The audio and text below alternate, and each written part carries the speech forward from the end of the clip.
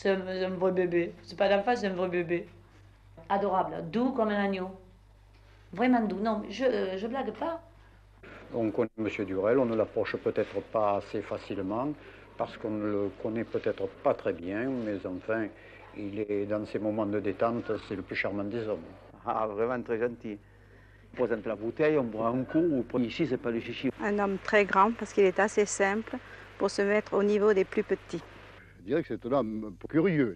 Il est un petit peu euh, scatologique aussi, mais euh, il est certainement une figure euh, qui a été qui, est, symbolique pour les gens d'ici. On comprend bien que quand même c'est un, gars qui est très intelligent et, vous voyez qui est très compréhensible. Quoi.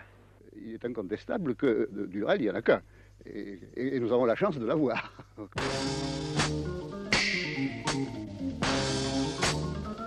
Évidemment, si on lit ses livres, oh là là.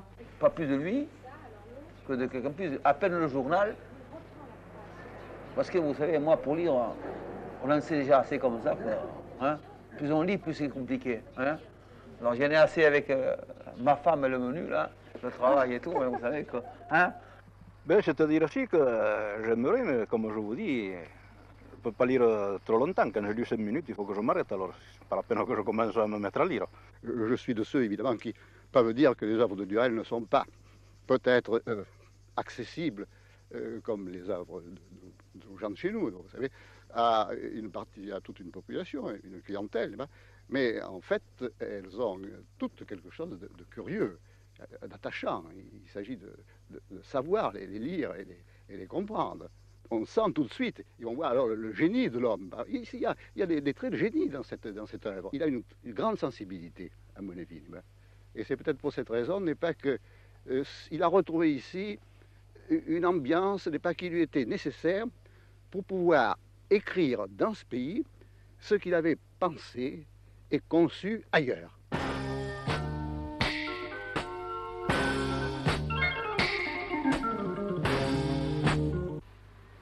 Je crois qu'on commence à sentir vers 58 ans, vous savez, euh, qu'il faut faire attention. J'adore nager, par exemple, et vite. Ça commence à être un effort maintenant à cause des cigarettes. Alors j'ai des, des, idées maintenant d'essayer avec beaucoup de tact, de me manier, de me garder en main, uniquement parce que j'adore tellement les plaisirs physiques.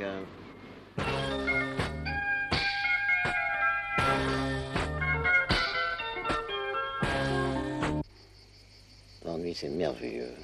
Le spleen, c'est respectable pour les, gens de l'être, non? Et il aide à quoi? Hmm? Ça pousse euh, vers le désespoir, qui est absolument essentiel. Autrement, on ne fera jamais rien.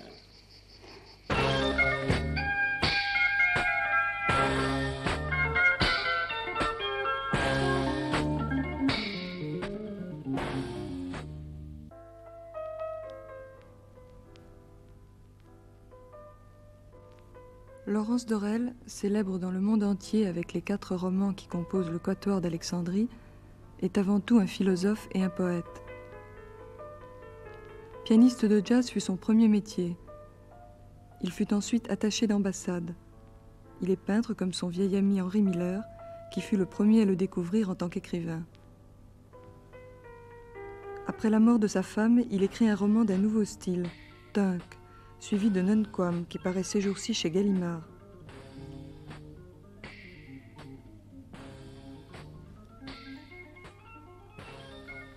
Il dit avec humour qu'écrire est pour lui une activité secondaire.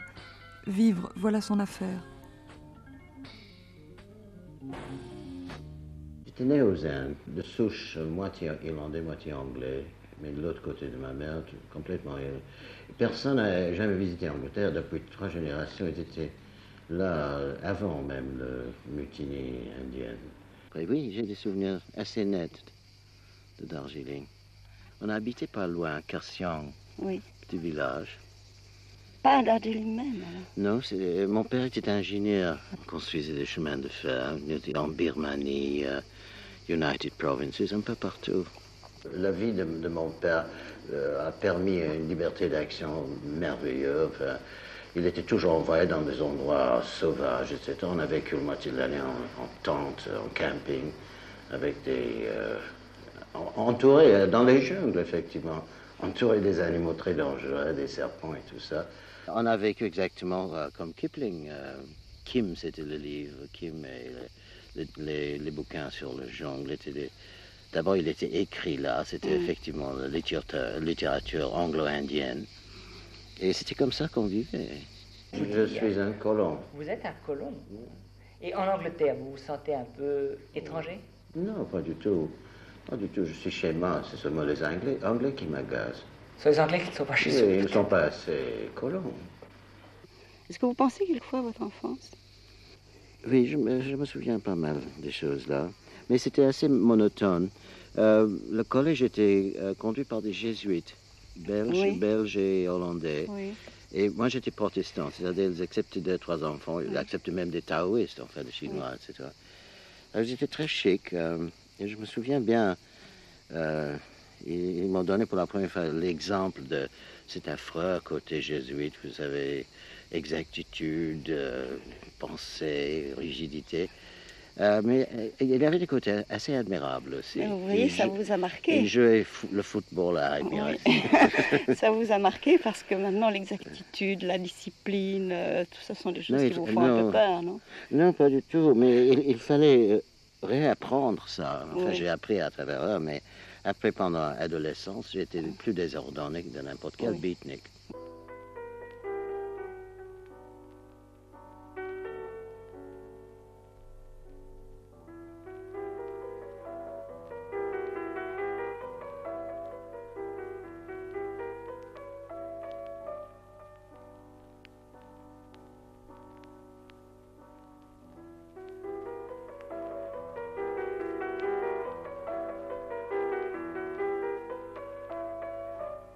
En France, pas, quand on parle de vous, on associe votre nom en général à la Méditerranée, à, Alexandrie, euh, à Chypre, à Rhodes et à la Grèce. Quand la guerre a éclaté, j'étais dans une île grecque. Alors l'ambassade m'a prié de venir me charger avec l'attaché de presse. Et comme ça, je, me suis glissé. Et puis, euh, nous étions chassés par les Allemands en Égypte. J'ai passé quatre ans là-bas. Euh, moitié au Caire, moitié en Alexandrie, comme attaché de presse toujours. Ça, le métier. Comment est-ce qu'il se faisait que vous parliez grec? Parce que j'ai arrivé en Grèce à l'âge de 20 ans et j'ai vécu pendant plusieurs années comme un pêcheur. Déjà à cette époque-là, qu'est-ce que vous cherchiez? J'ai cherché de m'enfermer dans une île grecque pour écrire des poèmes. Vous savez, avant ce, ce petit célébrité que j'ai à ce moment, j'étais très bien regardé comme poète, c'est-à-dire sérieusement regardé. Mais ici, vous, vous chantez chez vous, à Sommières. Parfaitement, mais euh, euh, tout en étant déraciné, on est chez soi partout. J'espère maintenant de faire le roulement idéal, c'est de passer deux, trois mois en Grèce par an et de rentrer me caser ici pour travailler l'hiver. C'est les deux paradis.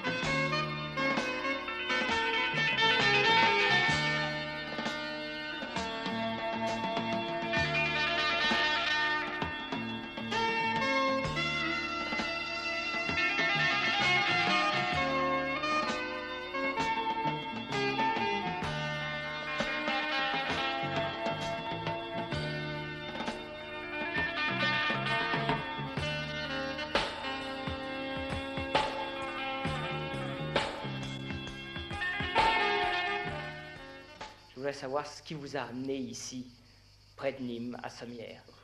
C'était un accident, je ne connaissais pas l'endroit. Mais j'arrivais en France presque totalement fauché après 20 ans d'écriture.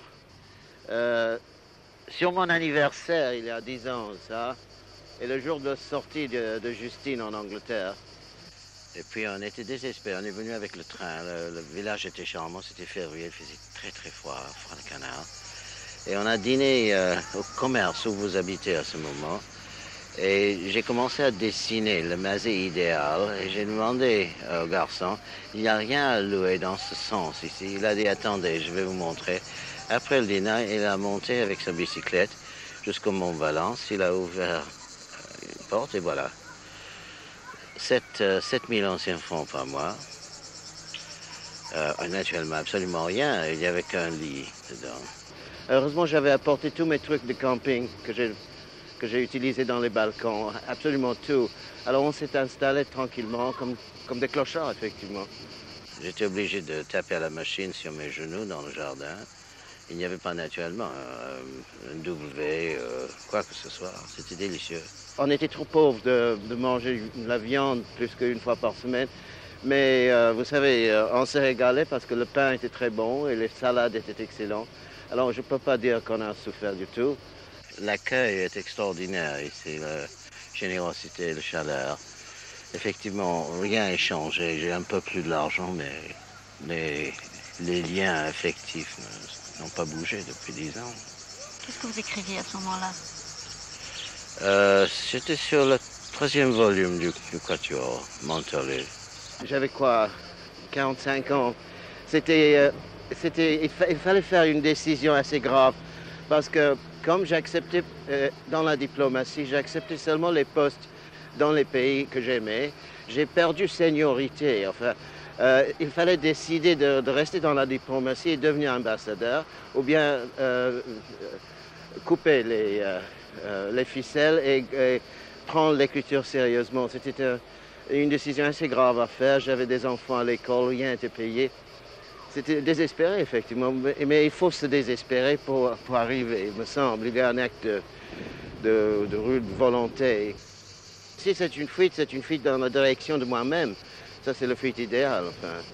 Vous voyez, je suis frappé tout de même parce que, et vous, et Miller, qui raconte ça euh, euh, dans, dans, une lettre à vous, je crois d'ailleurs, et euh, Blanco, le, le le clochard. dont vous parliez tout à l'heure. Je crois que tous les trois ont eu une espèce d'illumination. Ils se sont dit maintenant, c'est assez. Oui, oui, il faut, il faut partir, il faut quitter. oui, oui, oui.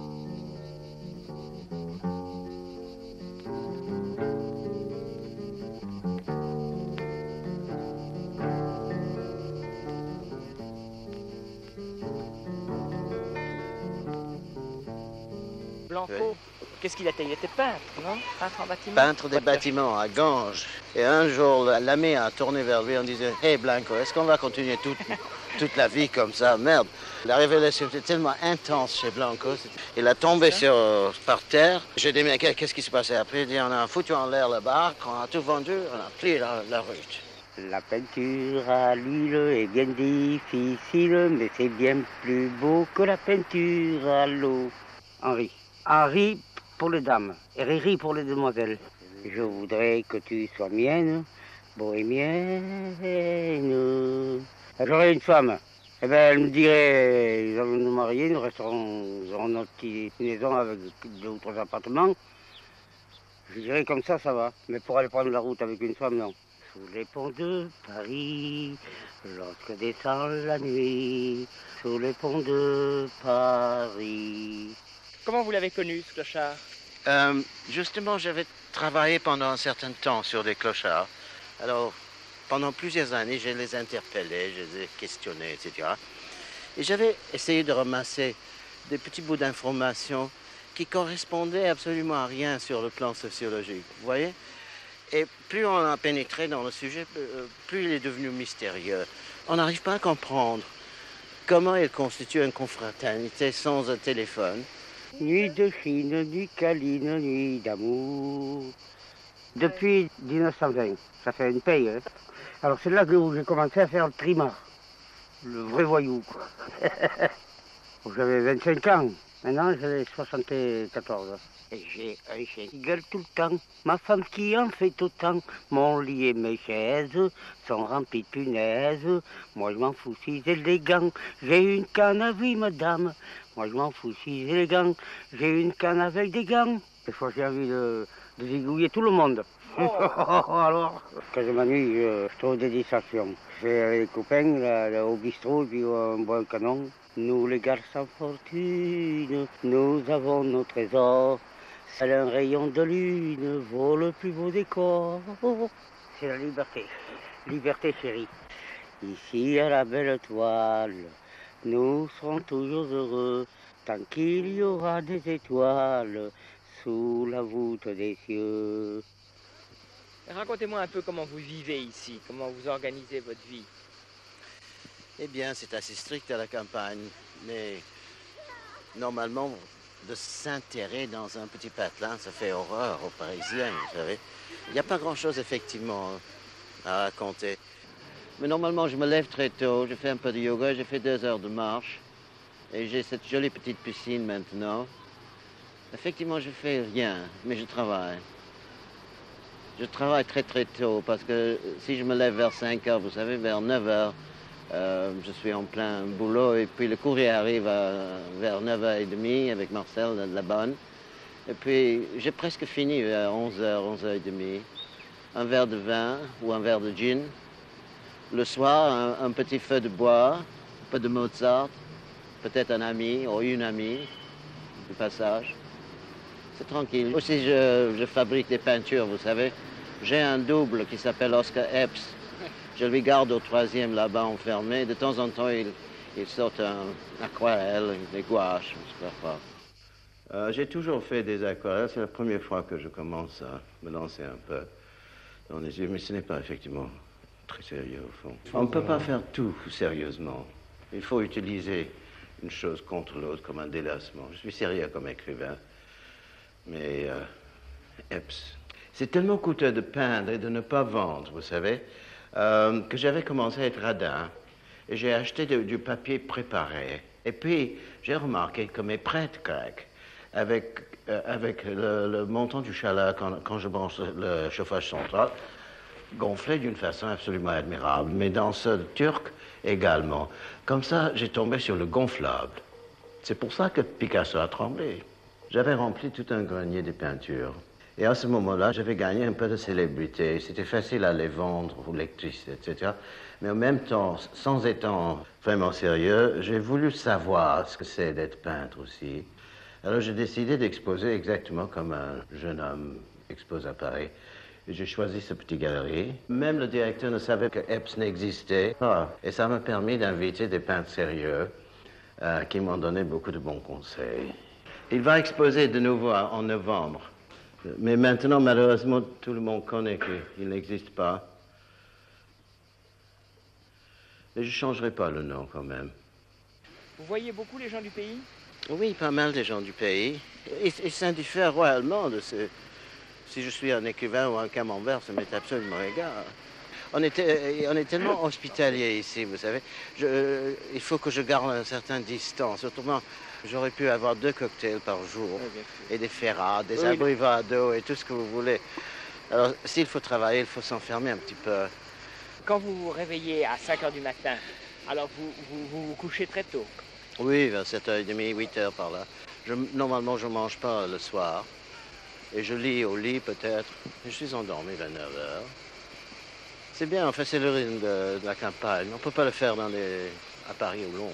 C'est fini. En deux jours, je suis complètement égaré. Et quand vous travaillez, vous avez une méthode très rigoureuse? Non, effectivement, il faut avoir un cible. Normalement, vous savez, si on regarde le bouquin sur un plan purement technique, euh, quatre pages par jour fait un roman en deux mois. Alors peut-être ce n'est pas fini, mais, mais il faut le finir avant de euh, fignoler, rafistoler.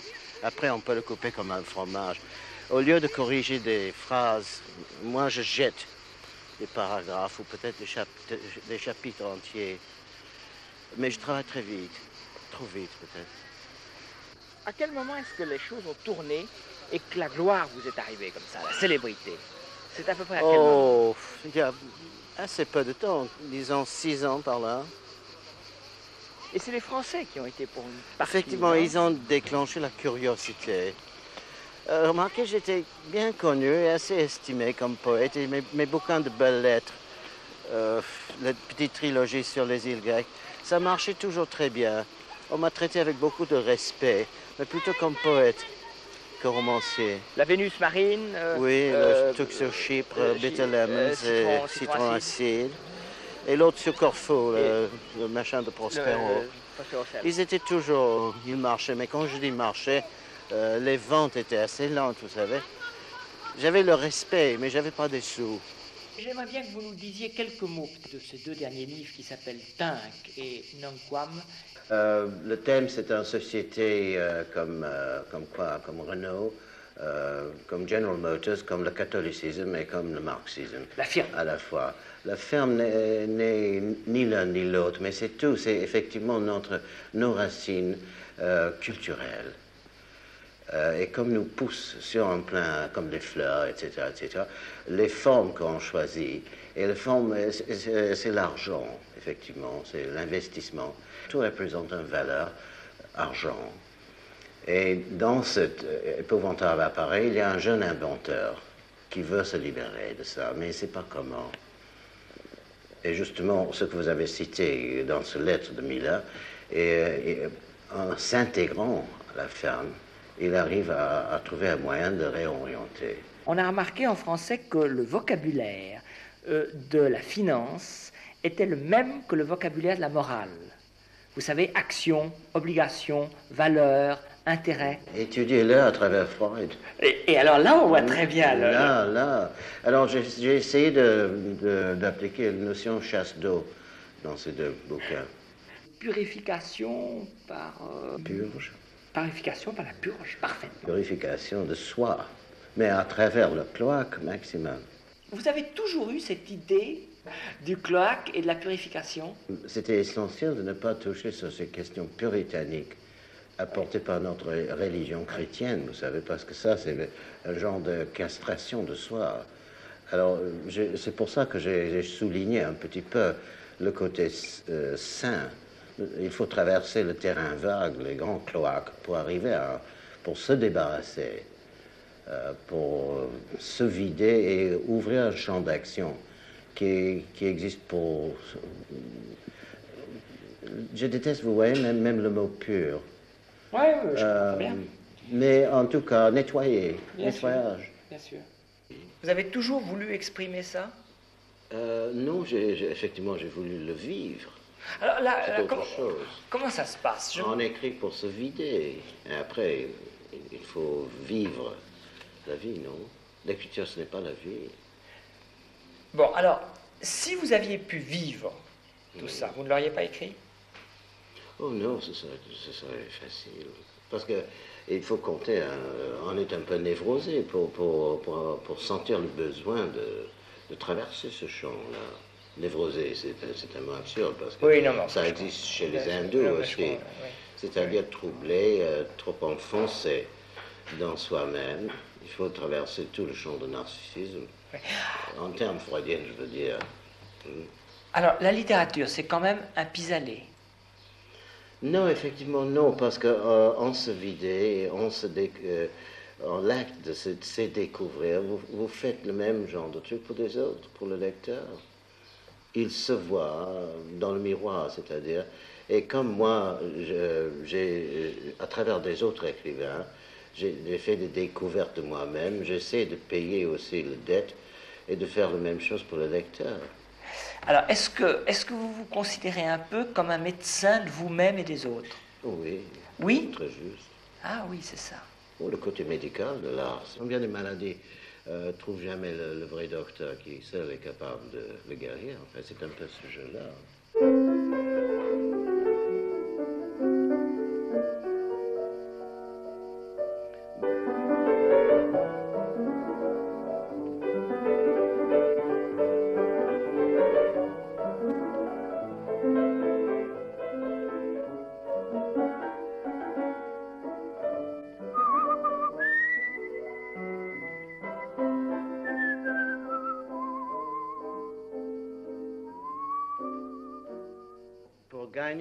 Le respect de mes enfants, ils sont tellement ennuyés avec mes romans, j'ai décidé de faire un musical. Alors j'ai choisi comme thème les trois derniers amours de Ulysse, vous savez, euh, la déesse sur l'île de désir, Circé, puis la princesse qui a voulu lui épouser, puis la femme, la femme idéale. C'est ça que je vous ai chanté. Ça, c'est Pénélope, tricotant.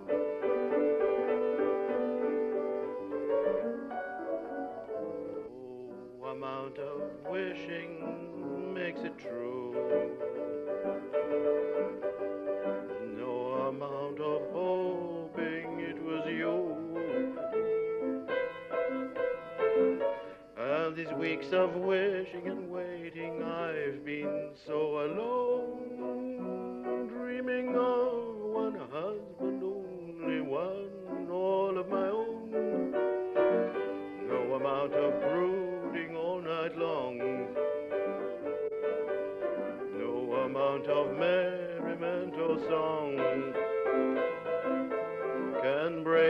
obsession of love for Ulysses, my own, and bring his vessel softly home. J'ai gagné le respect, je le garde toujours, de mes enfants, qui me manquent terriblement dans cette maison, vous savez.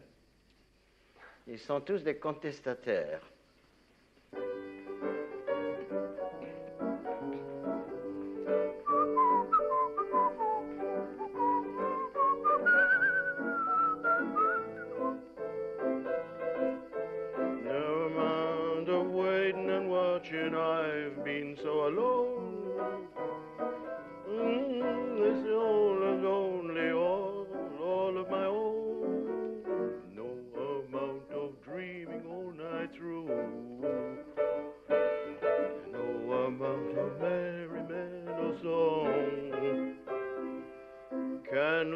This obsession of love for Ulysses, my own, and bring his vessel softly.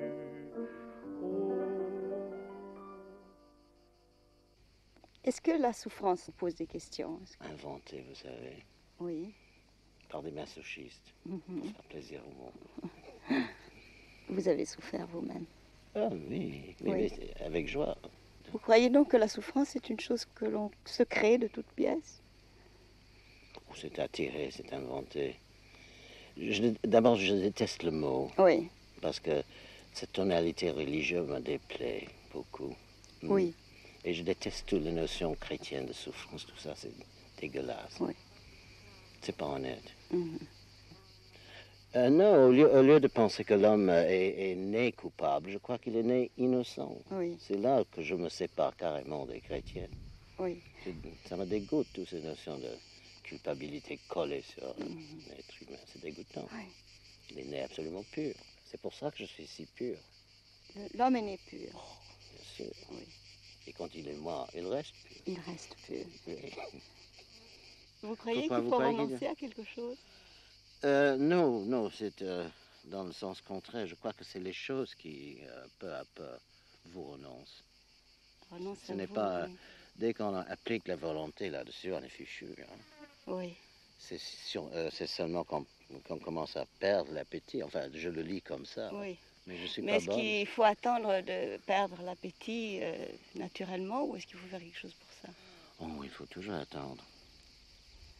Vous attendez encore? Quelle excuse pour la paresse. J'adore ça. Oui, mais cette attente, c'est pas forcément de la paresse. Non, d'attendre intelligemment et sans impatience. C'est difficile. C'est plus difficile que de faire un acte de volonté et tout couper. Entre les chrétiens qui ont ligoté leur sexualité et les autres qui en ont laissé euh, disparaître. Il y a une différence de méthode. Oui. Enfin, l'action pour vous est forcément liée à la sexualité. Oui, parce que la pensée et la respiration jouent un rôle, enfin. Vraiment, on ne peut pas dissocier l'action de la sexualité? Non, Non. À votre avis, non? non, toute action est sexuelle. Même la pensée est sexuelle. C'est ça qu'on ne comprend pas bien ici. Enfin, dans l'Ouest, je veux dire. Oui. C'est pour ça, toutes ces tragédies sexuelles. euh, l'abrutissement général. Tout le monde, ils ont des outils, mais ils ne savent pas comment, comment les manier, euh, les manier euh, intellectuellement, je veux dire, dans le sens pur, à la grecque. Et vous parlez de la, de la pensée comme étant une action. Est-ce que c'est ça pour vous, la pensée? Oui, la, la responsabilité commence avec la pensée. Elle, elle pense donc je fuis, dit Valérie.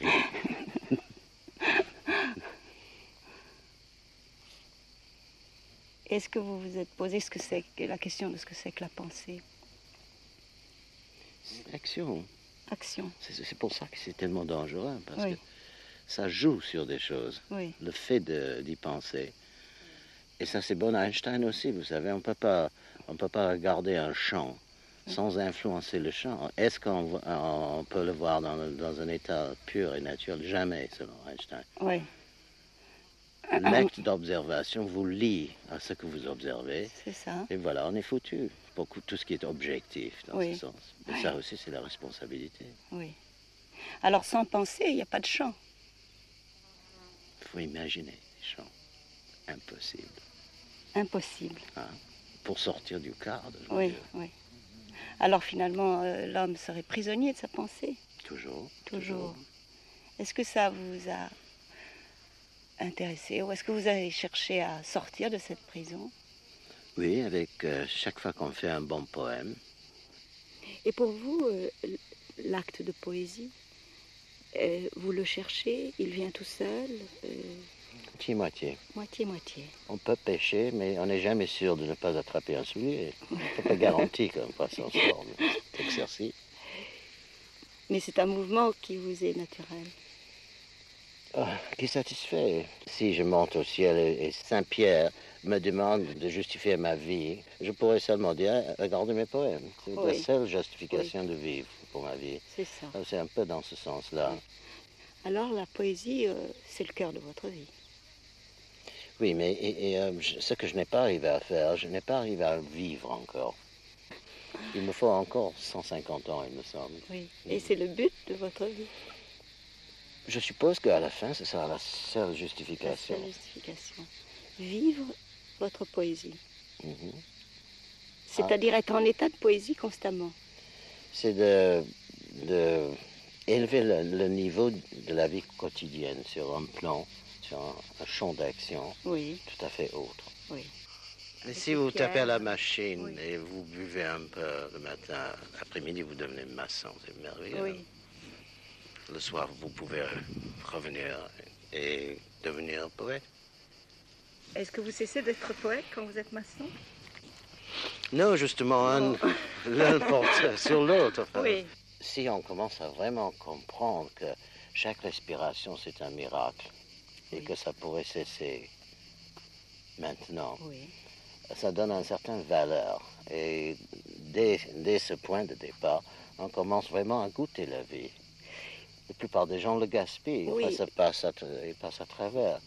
Oui, mais alors, euh, vous appréciez la vie relativement par rapport à la mort? Oui, c'est la joie. La poésie est au-delà de la mort.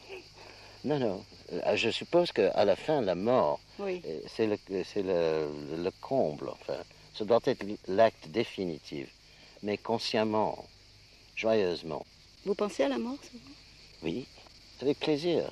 Il y a un certain volupté, n'est-ce pas? Pour qui? Pour les autres. Ne vous en tirez pas avec une pirouette. J'ai j'ai une petite concession ici, à côté de Blanco, je Oui. vais vous montrer. Non, mais puisque vous dites qu'à chaque respiration, euh, oui, on pense que. Enfin, je dis ce que je n'ai pas réalisé. Vous, oui, vous oui. me provoquez de dire des choses comme si j'étais un bond. Je n'ai pas arrivé là-bas, mais je devine que c'est dans ce secteur que Oui, mais si vous devinez, c'est que vous le savez je déjà. le sens comme un chien qui sent qu'il y a des truffes quelque part. Alors je gratte. Oui. Donc pour vous, la mort n'est pas une chose effrayante. Oh non, Non. Claude.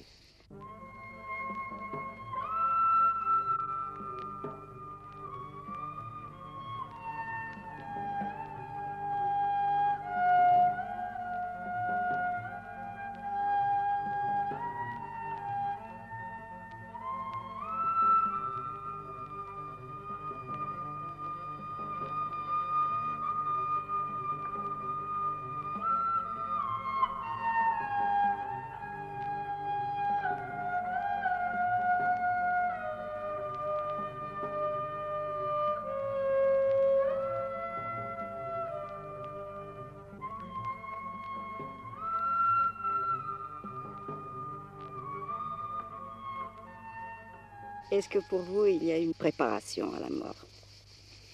Non, Non. pas spécial. Ça doit marcher Ça tout doit seul, marcher non tout seul. Bon, alors tout marche tout seul. Dans le fond, c'est inutile fond, de se, se tracasser. Non, On peut rien changer. C'est marvelous, c'est miraculeux. c'est miraculeux.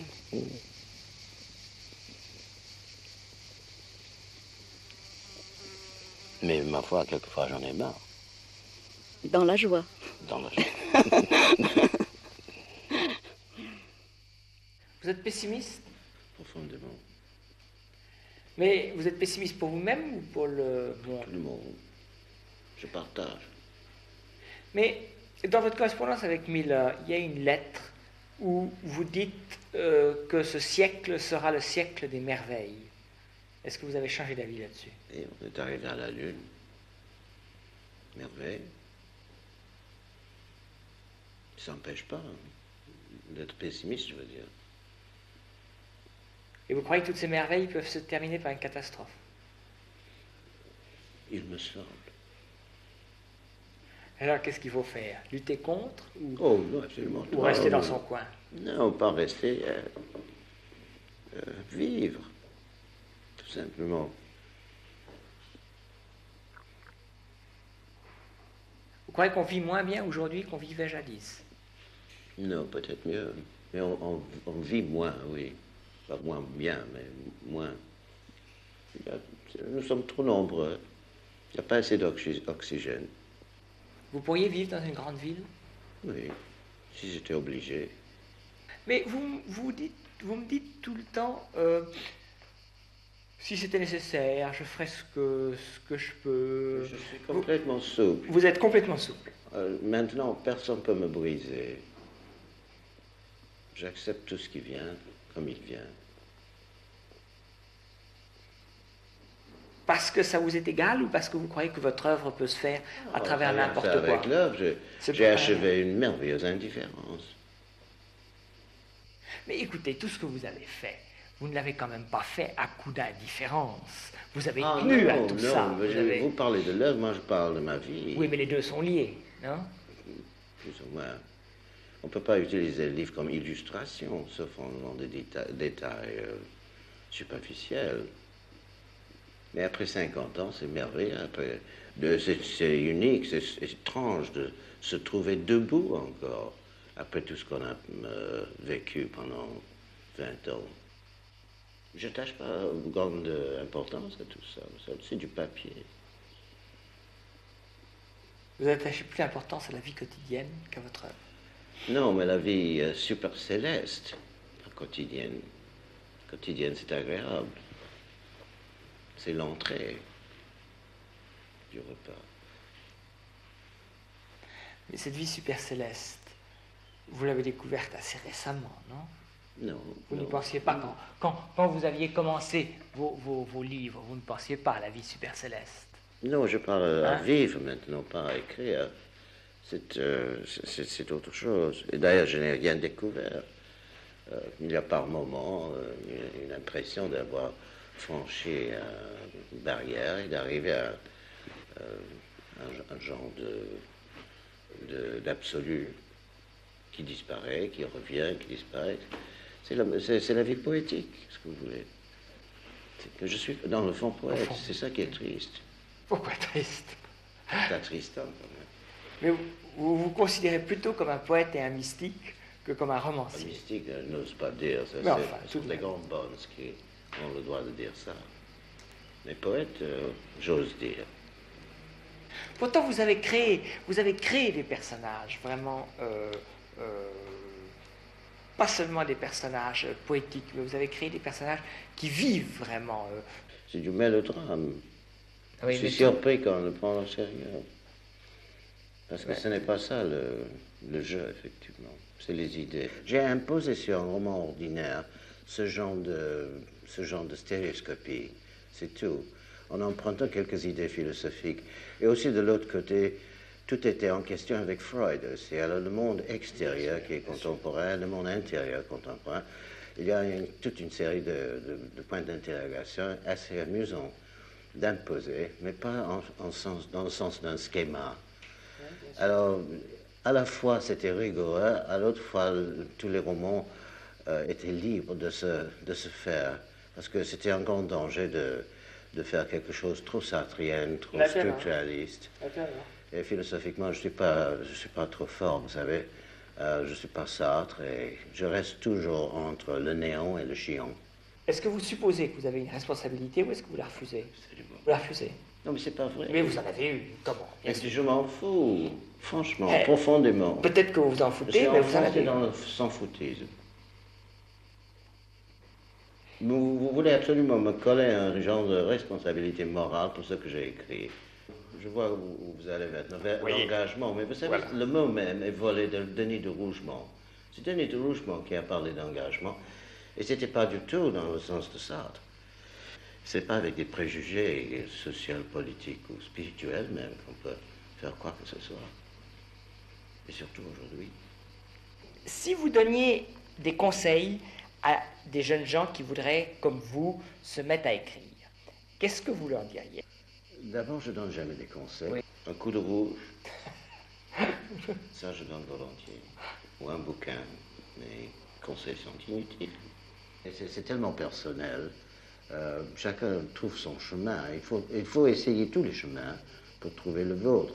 Mais pourtant, puisque vous vous présentez comme un espèce de masseur, et peut-être de guérisseur. Ah, ça n'a rien à faire avec la conduite.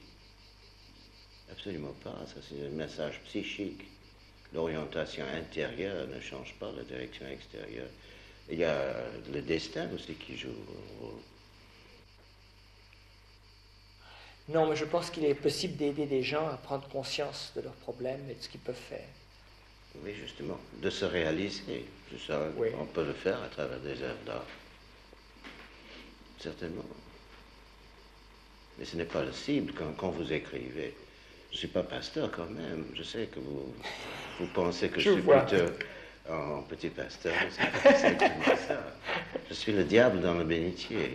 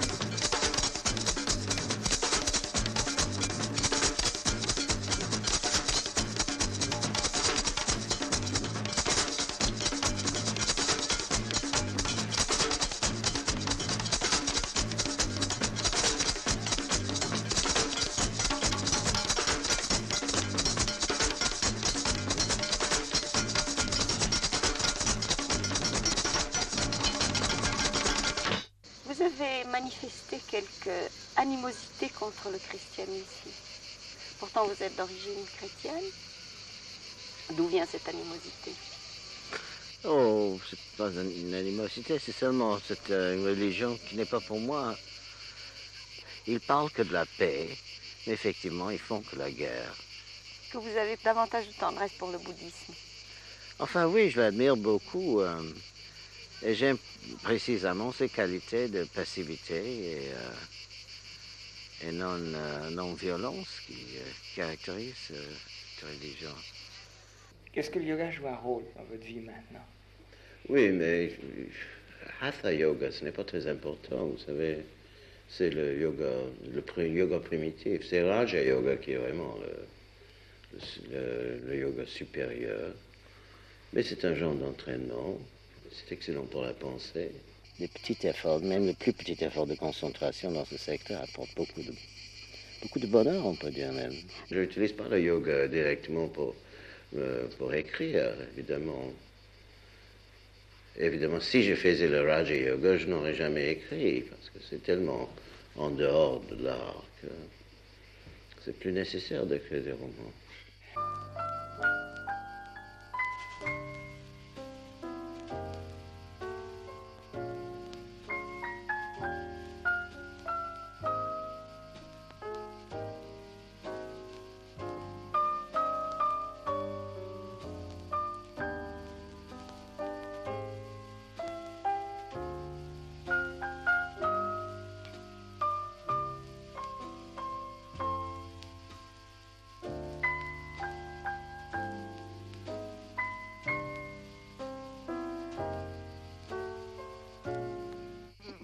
Attendez quoi des relations avec les êtres humains Euh, le sentiment de se découvrir à travers un. Non? De vous découvrir On ne vous-même. peut pas faire autrement. Oui.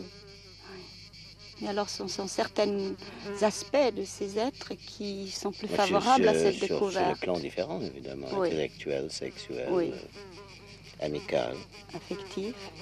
affectif. Et est-ce que dans ces relations, euh, l'amour joue un rôle pour vous? On- Dans le temps, ça jouait un certain rôle. Oui, c'était peut-être le, le- le plus utile de tout. Mais là, c'est aussi dangereux parce qu'on on- on- on se perd dedans. C'est tellement délicieux. On risque de se tromper tout le temps. De quel amour parlez-vous? Des femmes, je suis normal. Enfin, espérons. Et s'il fallait choisir, vous préféreriez le respect ou les sous? Oh, le respect, mais c'est merveilleux d'avoir les deux. J'ai arrivé à un point merveilleux maintenant. Je commence à m'amuser. J'avais toujours des soucis, l'argent, enfant, etc., etc. Maintenant, tout s'arrange de façon parfaite. Je serai libre à travailler. Non, je suis bien content. Vous êtes un homme heureux? Oh oui, Oui, oh oui. Peut-être le seul, le seul